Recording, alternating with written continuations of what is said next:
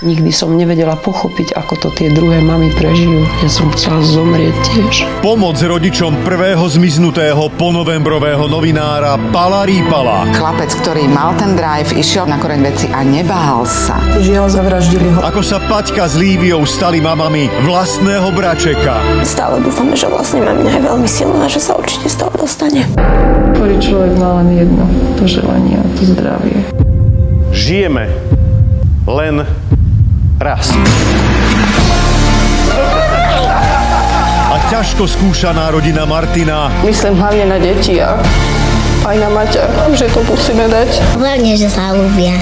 a ich veľký ňuorský zážitok. Vieme si ma.